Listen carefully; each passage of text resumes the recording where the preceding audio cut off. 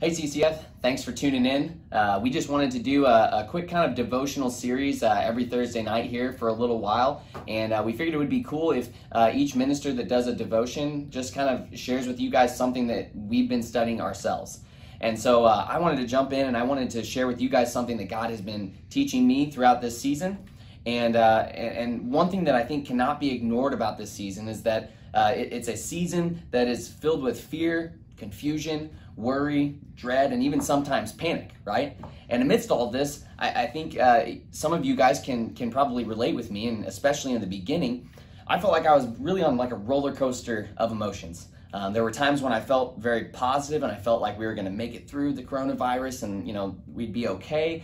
Um, and then there were really times where I felt like you know it was worst case scenario and that you know everything was was going in the worst uh, worst direction possible. I had feelings of, of dread and worry and, and uncertainty and even anxiety. Um, but one of the things that I truly believe about God is that He is teaching us, He's molding us, He's using the experiences around us to help us to become more like Jesus. And He's teaching us through even the most uncertain times in our lives. And I really do believe that uh, where Paul says in Romans chapter 8 that God is working all things together for the good of those who love Him and are called according to His purposes. And so I think that uh, we should always be looking for ways that God may be teaching us, even during tough times, even during good times. Uh, but we should be looking for ways that God might be trying to, to, to shape us, trying to teach us something about Him. And so I wanted to share with you guys one thing that has been really relevant to me, and one thing that I, I feel like God has really been placing on my heart. And I want to go to the book of Esther to show you what that is. Um, if you guys have your Bibles, feel free to go and turn there um, to the book of Esther. Uh, but uh, a quick intro about Esther. Um, it's actually kind of a strange book in terms of scripture. And uh, one of the reasons it's strange is because God is literally not even mentioned once, um, which is pretty strange when it comes to scripture that God is uh, never even mentioned. Um, which is almost concerning at first, but it actually, upon a kind of a further examination, it packs a really relevant punch for us today. Um, because when we look at uh, the story of Esther, we see that uh, she was a lot like us, um, and her story and her journey of faith was a lot like ours. You know, in this age of Christendom, we don't always hear God's audible voice. Um, we don't have a pillar of fire and, and a cloud to, to you know carry us and, and show us through the desert. We don't have prophets and apostles giving us literally God's word, you know, outside of actual scripture, of course. Um, and so uh, sometimes we actually feel like Esther, where we have actually kind of the same thing that she had. We have some of God's word, we have faithful men and women around us, and then most importantly, we have hope in a very real and active God who is working for the good of those who love him. And that's really what I want to focus on here in the book of Esther is, uh, is, is the, the hope that we have in a real and active God, even when we don't have that audible direction from God or that that that really obvious, you know, God is moving right now. Um, but we still have that hope in God. And, and I want to focus on that and I want to hone into um, Mordecai um, and, and his, uh, it's Esther's uh, cousin who raised her as a child. Um, but it, I want to hone in on his kind of influence in Esther's life for this. So the beginning of the story Esther of Esther starts out with kind of a dicey little intro in which the Babylonian king decides that he wants a newer, more beautiful, younger bride. Um, surprise, surprise. And that's where we see Esther enter into the story. Now, Esther was essentially an orphan who was raised by her older cousin Mordecai. And we see in chapter 2, verses 5 through 6, that um, it actually says that Mordecai was carried away during the Babylonian captivity, but it doesn't mention that Esther was. Um, but it does say that her parents died. So we can assume that Mordecai is quite a bit older, um, and, and he raises her kind of as his own daughter. Um, but, anyways, Esther kind of finds herself in the middle of this bachelor uh, Babylonian edition.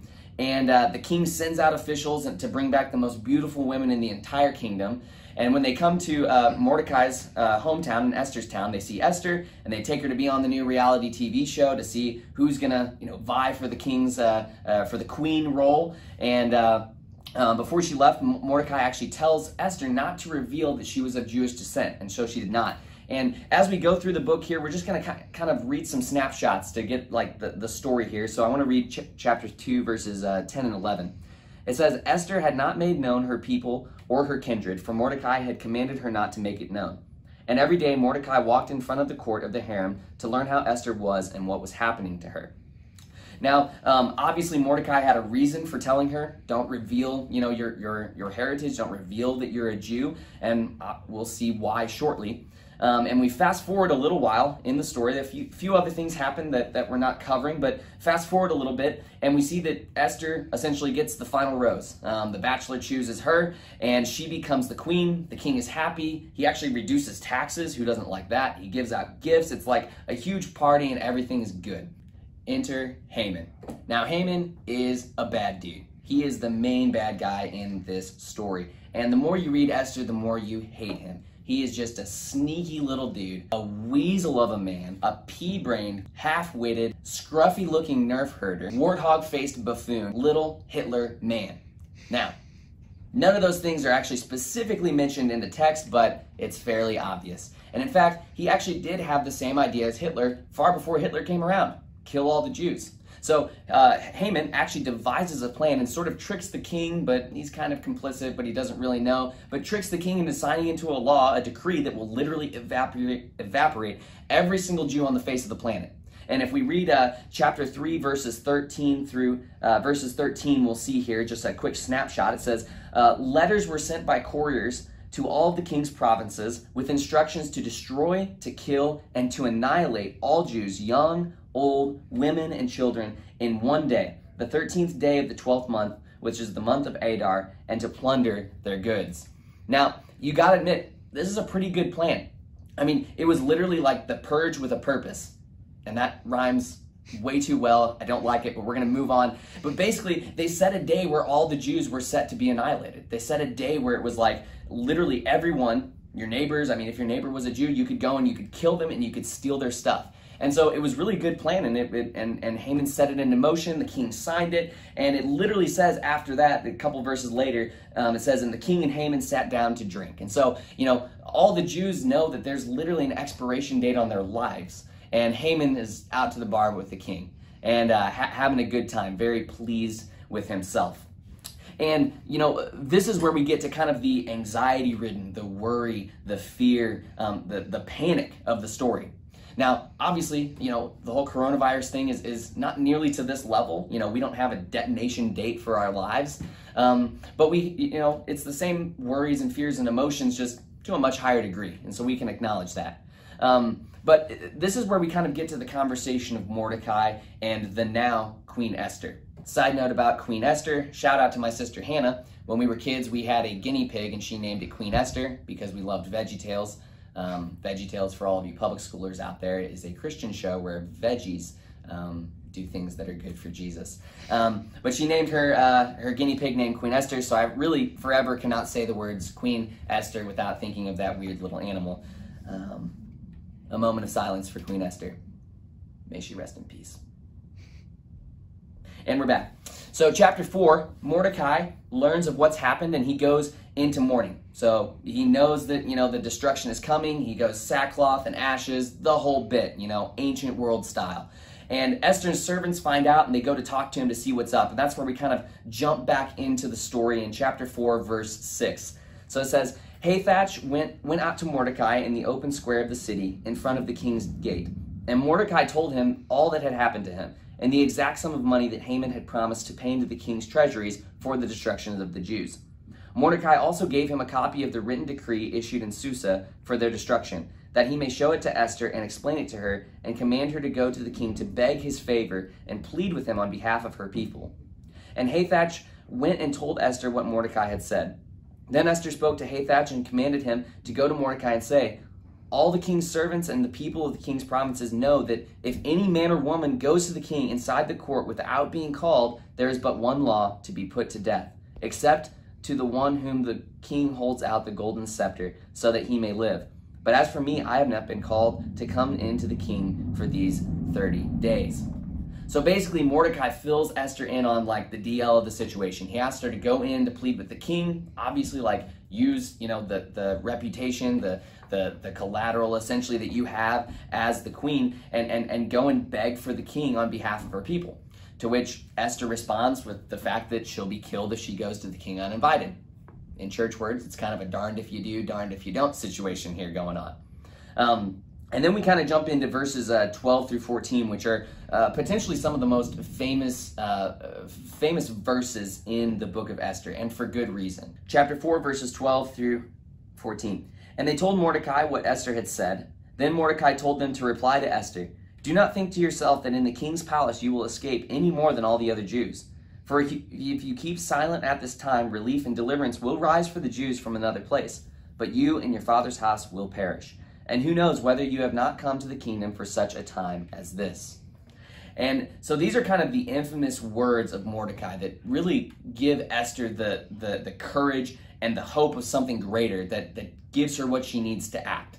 And so Esther, you know, goes in and she she commands the Jews to all go into a, a time of fasting and she starts to kind of develop a plan. And and we fast through it forward through the rest of the story.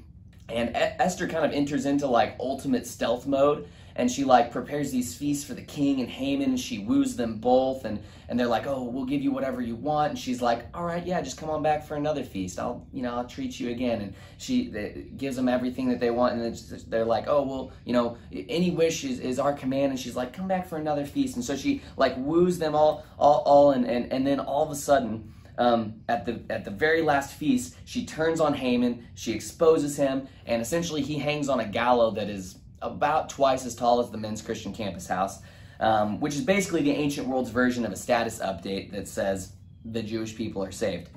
Um, and so that's kind of the, the, the, snapshot of the story of Esther. And, and, God certainly worked in some major ways, even though he wasn't speaking directly, even though there wasn't a pillar of fire, even though Jesus wasn't right there walking with the people. Um, but but God was working, and and and I think the catalyst for all of this hope um, that Mordecai instilled in Esther. And I think that that was the catalyst for, for Esther to move forward and to be able to have the courage to really develop a very sneaky plan. Um, and, and, and really put her life on the line. Of course, she was going to die either way, but um, she might have been able to hide out for a while. You know, she probably had a lot of excuses that she could have made. Um, but it was the hope that Mordecai gave her that gave her the courage to act. You know, he said, hey, look, you know, God's going to save the Jews regardless, right? So he's telling her God is real, God is active, God has a plan for his people. And then he's also telling her, look, maybe God brought you to this place for this time, for this moment, so that you could do something right here. And you know, uh, uh when we talk about hope, um, sometimes in, in our English language, we, we use hope in essentially the wrong way or in a weird way. We use hope as simply a, a desire or um, a wishful thought, like, oh, I, I really hope that Taco Bell gives out free tacos on Tuesday next week again because they've been doing that for a while. If you haven't taken advantage of it, you should look it up and see if your local Taco Bell does it.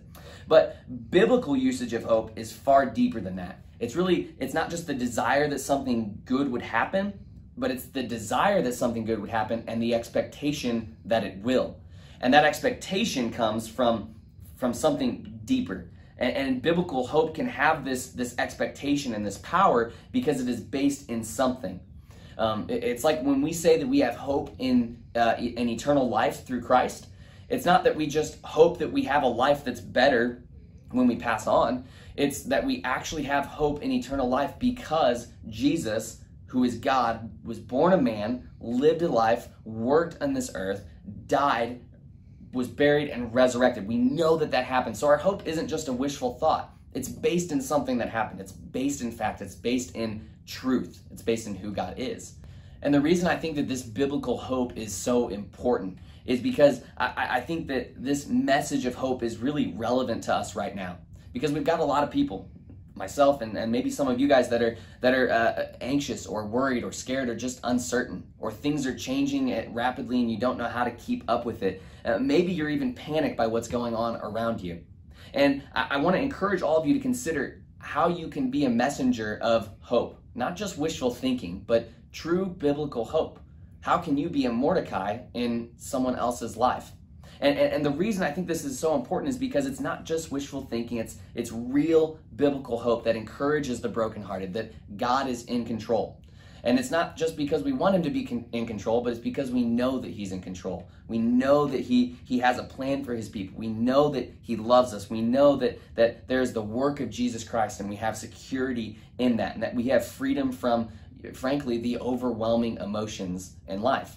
And it's not because we're, uh, you know, this biblical hope, it doesn't make us like above the emotions of life or above the, the effects of life in like a weird spiritual transcendent way or anything like that. It, it is simply because we know God lives and that He is working and that He loves us. And that's what gives us the hope of knowing that there's something bigger, knowing that God has a plan.